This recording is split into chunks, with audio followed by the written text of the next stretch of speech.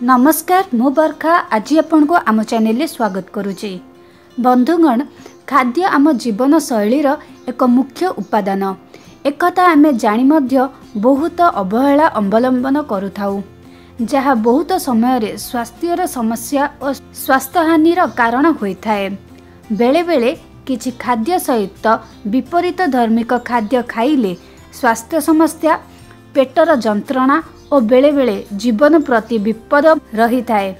ଚାଲନ୍ତୁ ଆଜି ଜାଣିବା ଏପରି କିଛି ଖାଦ୍ୟ ଯାହାକୁ ଏକା ସାଙ୍ଗରେ ଖାଇଲେ ବିଷ ପରି କାମ ଦେଇଥାଏ। ପ୍ରଥମେ ହେଉଛି କିଛି ବି ଫଳ ସହିତ ଯଦି ଆପଣ ଆମିଷ ଖାଉଛନ୍ତି ତାହେଲେ ସେଇଟା ଗୋଟେ ବିଷ ପରି କାମ ଦେଇଥାଏ।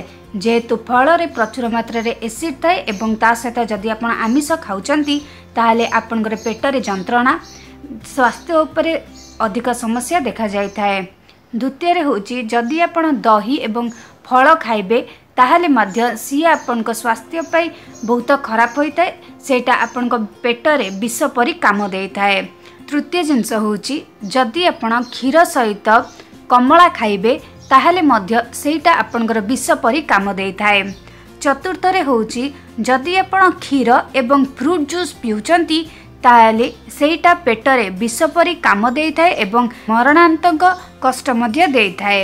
ତା ସହିତ ଯଦି ଆପଣ କୌଣସି ପ୍ରକାର ଆଇଁଷ ସହିତ କ୍ଷୀର ପିଇବେ ତାହେଲେ ମଧ୍ୟ ସେଇଟା ଆପଣଙ୍କର ବିଷ ପରି କାମ ଦେଇଥାଏ ଏବଂ ସ୍ୱାସ୍ଥ୍ୟ ପାଇଁ ହାନିକାରକ ହୋଇଥାଏ।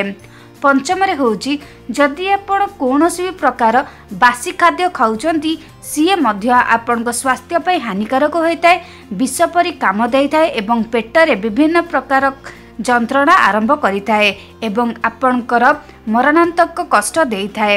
ଶେଷ ଜିନିଷ ହେଉଛି ବହୁତ ସମୟରେ ପେଟ ଖାଲି ଥିବା ପରେ ଯଦି ଆପଣ କୌଣସି ପ୍ରକାର ଆସିଡ୍ ଲେମ୍ବୁ ଗୁପଚୁପ୍ ଜଙ୍କ ଫୁଡ୍ କିମ୍ବା କୌଣସି ତେଲିଆ ଓ ମସଲାଯୁକ୍ତ ଖାଦ୍ୟ ଖାଉଛନ୍ତି ତାହେଲେ ସେଇଟା ଆପଣଙ୍କ ପେଟରେ ବିଷ ତିଆରି କରିଦେଇଥାଏ ଏବଂ ଆପଣଙ୍କର ମରଣାନ୍ତକ କଷ୍ଟ ଦେଇଥାଏ ତା ସହିତ ଆପଣଙ୍କ ସ୍ୱାସ୍ଥ୍ୟ ଉପରେ ସେ ବହୁତ ଖରାପ ପ୍ରଭାବ ପକାଇଥାଏ। ତାହେଲେ ଆଜି ଆପଣ ଜାଣିଲେ କେଉଁ ଖାଦ୍ୟ କେଉଁ ଖାଦ୍ୟ ସହିତ ନ ଖାଇବା ଉଚିତ। ଆପଣ ଆମ ଭିଡ଼ିଓକୁ ଶେଷ ପର୍ଯ୍ୟନ୍ତ ଦେଖିବା ପାଇଁକି ଅନେକ ଅନେକ ଧନ୍ୟବାଦ। ଆପଣଙ୍କୁ ଯଦି ଆମ ଭିଡ଼ିଓ ପସନ୍ଦ ଆସୁଛି ତାହେଲେ ଲାଇକ୍ ଓ ସେୟାର କରନ୍ତୁ। ଏପର୍ଯ୍ୟନ୍ତ ଯଦି ଆପଣ ଆମ ଚ୍ୟାନେଲକୁ ସବସ୍କ୍ରାଇବ୍ କରିନାହାନ୍ତି ତାହେଲେ ସବସ୍କ୍ରାଇବ୍ କରିଦିଅନ୍ତୁ ତା ସହିତ ଆପଣ ନିଜ ପରିବାର ବର୍ଗ ଓ ସାଙ୍ଗମାନଙ୍କ ସହିତ ଆମ ଭିଡ଼ିଓ ସେୟାର କରନ୍ତୁ। ଆପଣଙ୍କର ମୂଲ୍ୟବାନ କମେଣ୍ଟ ଦେବାକୁ ଭୁଲିବେ ନାହିଁ। ଆଜି ପାଇଁ ଏତିକି। ରହୁଛି। ନମସ୍କାର।